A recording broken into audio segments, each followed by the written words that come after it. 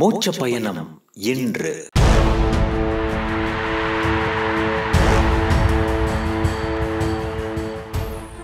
இன்றைய தியானத்தின் தலைப்பு மின் கம்பியும் மைனாவும்.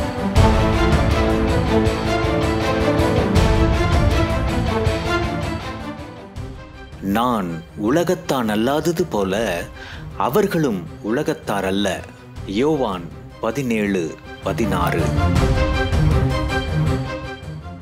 விளையாடிவிட்டு வீடு திரும்பிய ஜோயல் தன் வீட்டு மொட்டை மாடியில் அருகிலே செல்லும் மின்கம்பியின் மீது சில மைனாக்கள் உட்கார்ந்து ஒளி எழுப்பியதை ரசித்து கொண்டே அந்த மைனாவில் ஒன்றை பிடிப்பதற்காக கையை நீட்டினான்.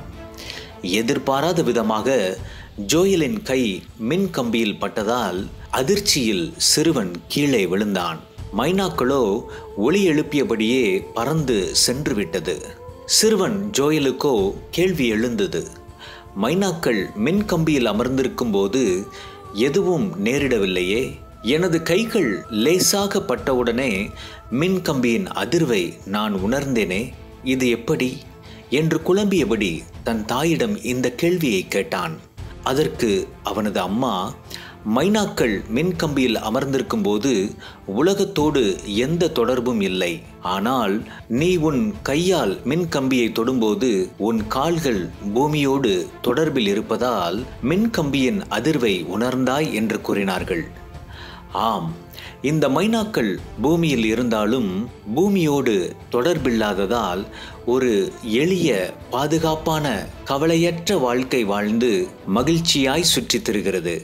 நாமும் இப்படிப்பட்ட ஒரு வாழ்க்கை வாழ அழைக்கப்படுகிறோம். அது எப்படி என்று கேட்கிறீர்களா? நாம் உலகத்தில் வாழ்ந்தாலும் உலகத்துக்குரியவர்கள் அல்ல என்று வேதம் கூறுகிறது.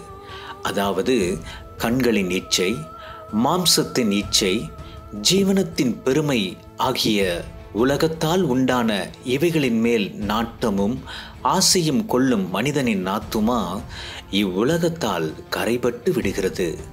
உதாரணமாக ஏவாள் தன் கண்களினால் பழத்தை இச்சித்தாள்.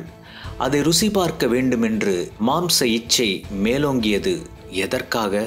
தேவர்களைப் போல மாற வேண்டுமென்ற ஜீவனத்தின் பெருமையால் அல்லவா? ஆனால் இயேசு கிறிஸ்து வனாந்திரத்திலே பிசாசினால் சோதிக்கப்படும் போது இந்த மூன்று காரியங்களையும் ஜெயித்தார். அன்பானவர்களே நான் உலகத்தான் அல்லாதது போல நீங்களும் உலகத்தார் அல்ல என்று இயேசு கிறிஸ்து கூறிய வார்த்தைகளை எப்போதும் நினைவிற்கொள்வோம்.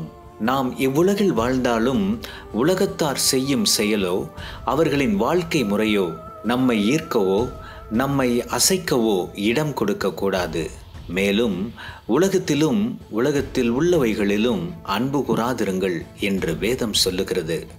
ஆம் நாம் உலகத்தில் இருந்தாலும் நம்முடைய வாழ்க்கை உலகத்தை பிரியப்படுத்துகிறதா இராமல் தேவனை பிரியப்படுத்துகிறதா இருக்கட்டும். அப்படிப்பட்ட வாழ்வு வாழ ஆண்டவர் நமக்கு உதவி செய்வாராக. ஆமேன்.